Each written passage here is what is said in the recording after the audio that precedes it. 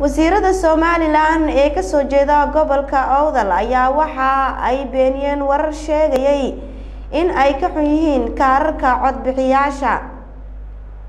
Faysal kacaan ayaa warbixintaasi ka soo diray magaalada hargeysa wasiirka wasaaradda tiknolojiyadda iyo xiriirka golayaasha iyo weli wasiirka wasaaradda arrimaha bulshada somalilan oo ah wasiire ka soo jeeda gobolka awdal ayaa si adag isaga hor istaagay eedeymo qaar kamida warbaahintu ay ka qoreen kuwaas oo ku saabsanaa in wasiiradaas aanay qaadan kaarka codbixiyaasha somalilan kaasoo laiska hor istaagay sida warbaahintu ay sheegtay in wasiiradaasi laga hor istaagay ay ku sababeeyeen in ay marar badan ku celceliyeen qaadashada kaarka codbixiyaasha halkaasna ka gubtay kaarkaasi. Hadda wasiiradan ayaa ku tilmaamay waxba kama jiraan. Eedeymahaasi qaar kamida warbaahintu ay ka qoreen waxaana hadaladoodii ka mid ahaa.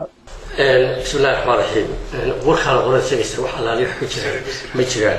Anigu cid kala eedeyn maayo laakiin jaraydka soo qoray oo ah laba jarayd oo somaliland today iyo waaheen labaduba been aan sal iyo raad lahayn bay ka qorayaan.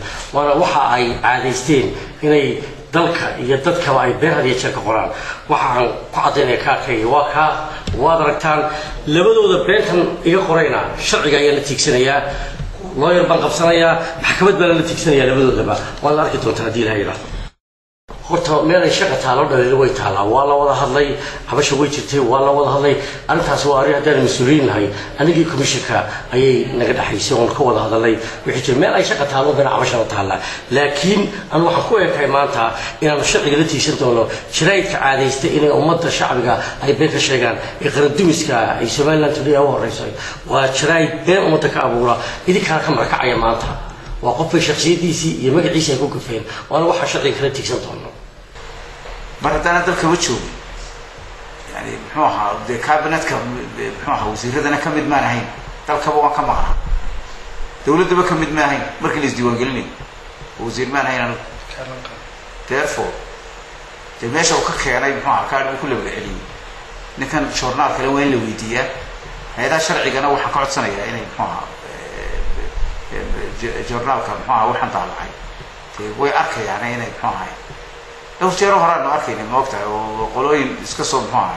Wax iska qorqoray oo yani agaasimaha guud iyo muxuu ahay wasiirkaa isku dhacay saxiix buu ka joojiyey.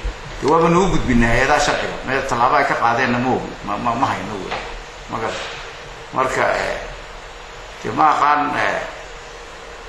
saxaafaduna dee waxay leedahay ethics. Anshax bay leedahay. Ethicska saxaafadda in lagu xadgudbo maaha haddii lagu xadgudbo muxuu aha wasaaradda warfaafinta iyo hay'adaha muxuaha xeer ilaalinta iyo muxuaha c i d daba waxaan muxuu aha odhan lahaa.